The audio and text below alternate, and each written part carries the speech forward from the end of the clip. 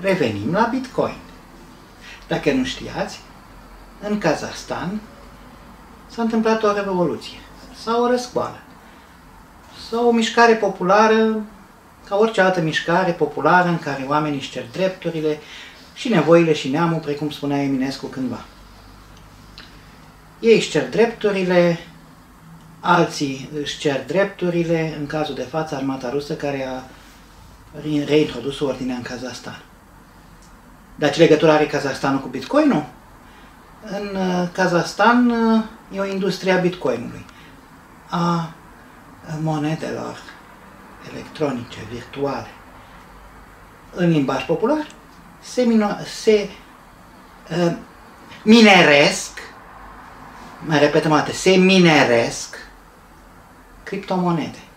Adică sunt niște calculatoare în care se calculează după niște algoritmi, spuneam, foarte interesanți din punct de vedere matematic, niște fake-uri.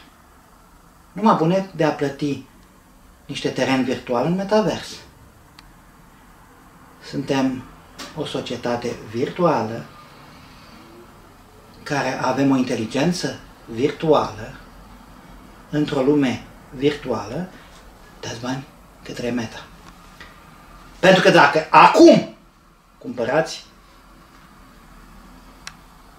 kilo bițișori, uh, mă rog, kilometri pătrați de bițișori, că în metavers se vând kilometri de teren virtual, uh, veți fi bogați în mod real și nu o glumă, peste ceva timp. Pentru că am uitat să trăim și mai ales să gândim. Revenim la Kazahstan. Acolo se mineresc monede. Adică intri, intri miner cu calculator, cravată, ac, ghiul. Îți pui o geantă, îți deschizi laptopul, îți scoți pisica din dotare, a mai plecată și aștept să spice bitcoin în portofel. Dacă nu se întâmplă, n-ai nimerit programul.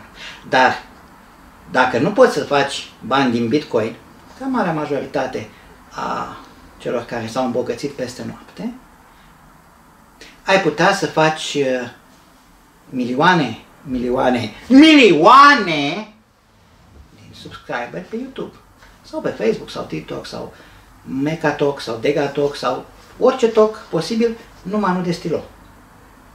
De ce?